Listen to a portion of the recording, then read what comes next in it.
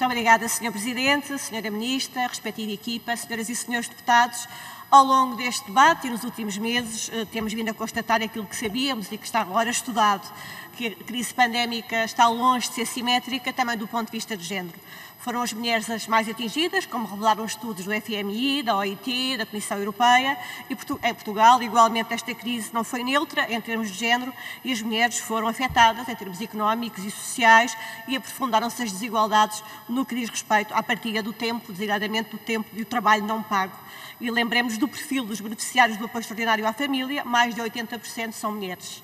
Sublinho-se por isso o quanto foi importante o Orçamento do Estado ter reforçado o abono de família, alargado a gratuidade das creches, naquilo que é um esforço para aumentar o rendimento disponível das famílias, mas também para permitir uma melhor conciliação entre a vida profissional e familiar dos pais. De forma transversal, ao longo destes meses, foram criadas medidas de manutenção do emprego, de apoio à contratação, de apoio às famílias e empresas, bem como de apoio a públicos mais vulneráveis, com impacto particular das mulheres, de que são exemplo o layoff simplificado, o apoio extraordinário à retoma progressiva de atividade, o subsídio por assistência a filho ou neto, o isolamento eh, profilático. Mais de 3,4 mil milhões de apoios foram pagos, impactando mais de 2,8 milhões de pessoas abrangidas por estes apoios sociais. É por isso também, igualmente, que os instrumentos legislativos criados em anos recentes de governação socialista e com o apoio deste grupo parlamentar, como a Lei da Promoção da Igualdade Salarial, as leis da representação equilibrada de homens e mulheres em cargos de decisão,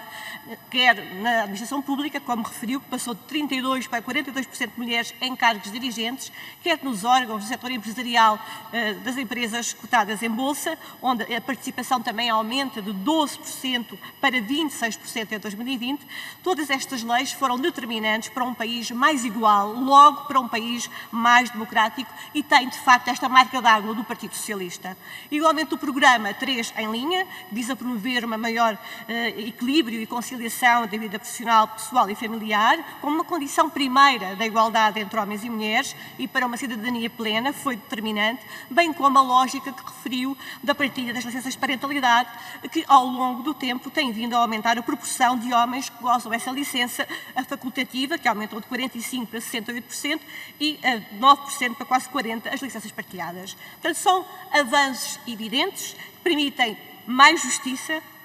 e consagram e aprofundam a igualdade, tal como está previsto no artigo 9 da nossa Constituição. Por isso, o esforço que tem sido feito em campanhas para promover a igualdade na SIG, ou alargar a consciência da discriminação e dos direitos e reforçar mecanismos de proteção, por exemplo, da CID, que tem hoje poderes reforçados, são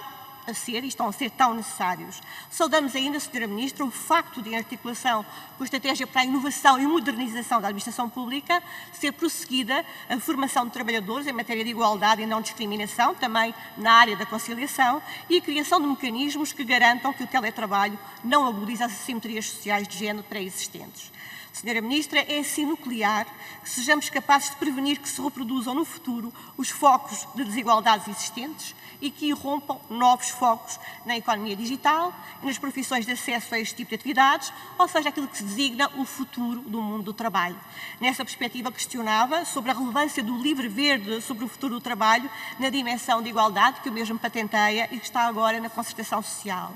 Por seu turno, a versão final do PRR, Portugal ontem entregou, aliás, Portugal foi o primeiro Estado-membro a, a entregar esse documento, promove uma nova geração de equipamentos e respostas para a primeira infância, idosos e deficientes, inclui medidas de promoção da igualdade remuneratória e de promoção da representação equilibrada nos cargos de direção, mas também combate os estereótipos designados no STIC, que limitam as escolhas formativas das raparigas e mulheres e informam desigualdades futuras que queremos inverter e travar.